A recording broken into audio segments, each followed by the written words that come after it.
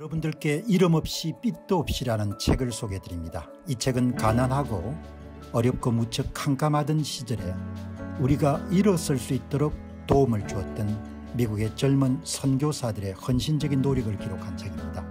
여러분께서는 감동과 교훈 그리고 삶의 지혜를 얻으실 수 있을 것입니다. 감사합니다. 정부 재고가 부족한 겁니다. 이제 보시게 되면 재고가 없으면 없다. 도입할 예정이면 시간이 걸린다. 이렇게 확실히 알려주면 만성질환자 등으로 대상을 한정해서 의사 처방을 줄이든 취급 약국을 초창기처럼 한정해 약국 보유 수량이라도 늘리든 대책이 나올 수 있을 것 아닙니까 일부 지역에 부족할 수 있지만 품질은 아니라고 하면 의사들은 당연히 처방을 계속 내는 게 걱정입니다.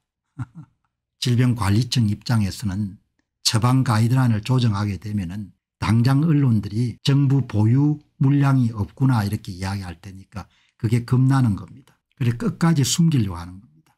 이 약사분 정확하게 이야기하지 않습니까 사실은 코로나 치료제 재고가 거의 없다고 보면 됩니다. 이번 조사 이전까지는 몰랐었습니다. 정부 말만 믿고 어딘가 있겠지 환자에게 찾아가면 되겠지 하고 무책임하게 보냈는데 현황을 보면 말 그대로 정부가 말했던 부족하지 않다는 게 사실이 아닌 것이 확인된 겁니다. 정부는 믿을 수가 없는 겁니다. 약사분이 아주 정확하게 이야기 안 해요. 사실은 코로나 치료제 정부 재고가 거의 없다고 보면 됩니다. 이번에 전수 이런데 관내 여러분들 약사들의 재고 조사하기 전까지는 몰랐습니다. 정부 말만 믿고 어딘가 있겠지 환자에게 찾아가면 되겠지 왜 재고 물량을 여러분 약국에서 몇 개를 갖고 있는 건 보건소만 알고 있으니까 보건소만 갖고 있으니까 보건소만 여러분 갖고 있는 정보인 겁니다. 그걸 숨긴 겁니다. 질병관리청이 여러분들 앞으로 많이 두들겨 맞을 겁니다. 보시기 바랍니다. 본인들이 책임을 져야 되니까 어마어마하게 겁이 나는 거죠. 이것도 엄청나게 이름 당황했을 겁니다. 이렇게. 부천 관내 이름 약국들이 다 조사를 해가지고 대부분이 이름 재고 물량이 없는 겁니다. 이게 보도가 돼가 이름들 엄청나게 이름 당황했을 겁니다. 이 정보를 다 숨긴 겁니다. 질병관리청도 숨기고 보건소도 다 숨긴 겁니다. 원래 관리들이 이렇게 하는 겁니다. 책임을 안 지기 위해 다 숨기는 거지 않습니까? 부천분해 대한약속의 부천분해 여러분들 46개 45개 여러분들 40 락팍스로이드는 46개 여러분들 약국 가운데 36개가 없고 라게보리는 45개 여러분들 약국 가운데 34개가 없는 거 아닙니까? 그리고 그 재고 있는데도 0.28개 0.52개 몇 개밖에 안 갖고 있는 거지 않습니까 그게 처방전이 5배 6배 이름 증가하게 되니까 어떻게 여러분들 그게 수요를 대처하겠습니까 그게 약, 약사들이 어마어마하게 뿌리 난 거죠. 그래서 이런 이야기가 나오는 겁니다. 재고가 없으면 없다고 하고 도입할 예정인데 언젠가 시간이 걸린다고 이야기해야 되지 이렇게 그냥 입을 꾹 다물고 있으면 의사들은 약국의 상황을 모르니까 계속 처방전을 끊을 거 아니냐 이렇게 하는 일이 어딨냐 이렇게 이야기하는 겁니다. 일처리 하는 게 다 이 모양인 겁니다. 이번에 잘 해결되기를 바랍니다. 해결 안 되고 이게 여러분들 확산이 되고 하면 뭡니까 어마어마하게 여러분들 정치적으로 공경에 처하게 될 겁니다. 일들이 이렇게 처리하는 겁니다. 지금 이제 약이 부족한데 이제 격리병동이나 이런 것까지 여러분들 문제가 생기게 되면 어마어마하게 문제가 되겠죠. 잘 해결되기를 바랍니다. 해결되길 바라는데 지금 돌아가는 꼴이 보니까 이 보시게 되면은 처방 가능 여부 확인을 코로나 치료에 두고 현장 혼란 약이 없는데 품절이 아니라고 약국 질병관리처 수급 대응에 폭발하다. 그러니까 하도 여러분들이 이렇게 하니까 약사회가 긴급 나서 가지고 예, 조제 건수를 긴급 조사하는 겁니다. 재고는 얼마고 약국당 조제 예, 처방전을 몇 개 받았고 이게 조사가 나는 겁니다. 정부가 해야 될 게 아무것도 안 하는 겁니다. 끝까지 숨기겠죠. 뭐. 잘하고 있습니다. 대책이 있습니다. 예, 의과대 학생들이 여러분들 뭡니까 1500명들라도 문제 없습니다. 맨날 이렇게 하겠죠. 관리들이 하는 게다그 모양이니까 끝까지 숨기는 겁니다. 약이 없는데 품절이 아니라고 약국 정부 수급 대응에 폭발하다 뭐 이렇게 나오지 않습니까 약 수급 불안정이 3년 넘게 지속된 모양입니다.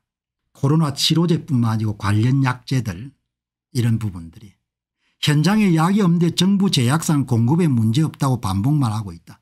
코로나 치료제 붕괴도 불구하고 질병증 부족하지 않다고 엉뚱한 답변을 내놓고 있다. 이렇게 막 불만들이 터져 나오는 겁니다. 코로나 치료제 전담 약국에서는 신청한 물량의 절반도 채가 안 되는 약이 도착하고 있거나 이마저도 일부 보건소는 급하게 약 재고를 확보했다면서 약국에 직접 보건소를 방문해 약을 찾아가는 등의 중구난방식 대처가 이루어지고 있다. 정부가 의약품 품절 상황에 대한 문제의 심각성을 제대로 인지하지 못하는데 근본적인 문제가 있다고 약사들은 성토하고 있다. 지난 3년간 약사들은 정작 의약품 도매 업체들에서는 약이 없어서 현장에서 약을 구할 수 없는데 관련 제약사는 물론이고 정부는 약 품절은 아니다. 공급에는 문제가 없다는 등의 동떨인 답을 하고, 하고 있다. 이번 코로나 치료제 품귀 사태와 관련해 질병청이 내놓은 보도자료는 약 품절 사태에 대한 정부의 인식을 여실히 보여주는 대목이다. 약 품절이 수년째 이렇게 심각한데 정부는 약사에도 제대로 대한 대안이나 목소리를 내고 있지 않다. 품절 대응이 일상이 됐다는 점차 한계가 오고 있다.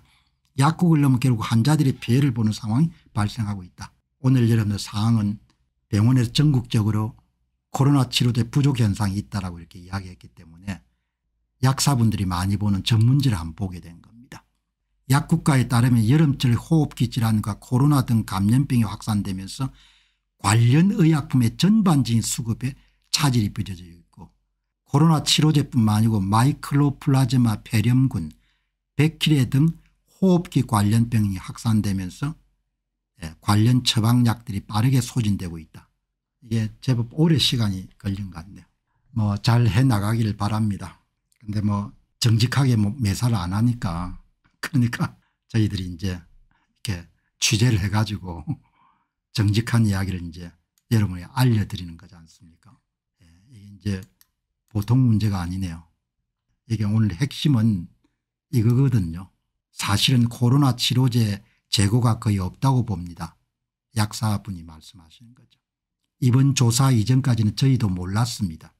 정부 말만 믿고 어딘가 있겠지 환자에게 찾아가면 되겠지 이렇게 했는데 대한약사의 부천 10분회가 조사해 보니까 실질적으로 재고가 없는 겁니다. 그 부천 10분회만 이야기가 아니고 서울시하고 경기도도 거의 비슷할 거다는 이야기죠. 그게 문제가 됐던 것이 8월 7일 8일인데 그런 보도가 되면 은 화들짝 놀래서 질병관리청이 전국의 보건소에 재고 물량을 풀었어야 되는 거죠. 한국은 일일 생활권이기 때문에 당일날 따로 해결할 수 있는 겁니다. 그런데 8월 10일까지 해결이 안 되는 겁니다.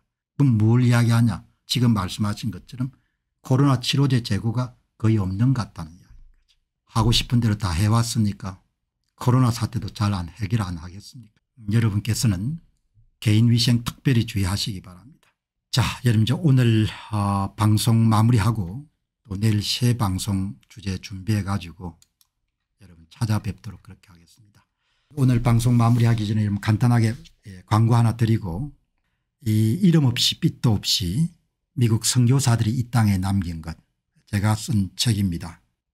대부분 20대 아주 젊은 미국 선교사들이 구한말하고 여러분들 20세기 초엽에 한국에 와서 기여한 부분을 인물 중심으로 이렇게 정리한 그런 내용들이 여러분 관심을 한번 가져주시고 그다음에 미국의 Wild West 미국 서부 가장 서부적인 그런 장소 가운데 하는 애리조나를 답사한 여행기 겸 입문서 애리조나 답사기 그다음에 이제 제가 써진 안, 쓴 책은 아니지만 김동주 박사께서 쓴 기독교로 보는 세계 역사 필생의 대작입니다. 김동주 박사한테 이런 책이 다시는 아마 이분이 쓰기가 쉽지가 않을 것 같아요. 여러분 관심 가져주시기 바랍니다.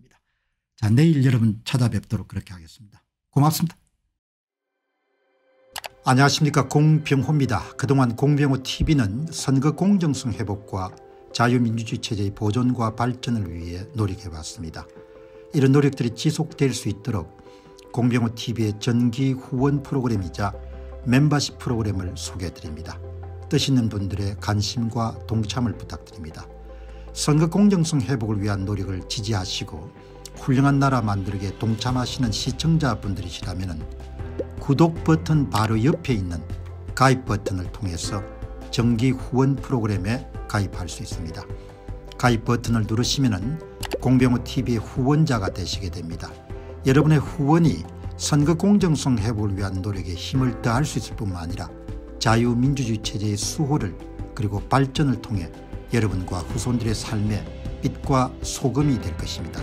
특히 그동안 공병호TV는 선거 공정성 행보를 위한 노력 과정에서 채널 성장에 제약이 가해지는 불이익을 감수해왔고 지금도 그런 불이익이 계속되고 있습니다.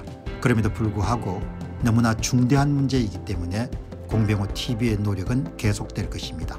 여러분의 깊은 관심을 부탁드립니다. 감사합니다.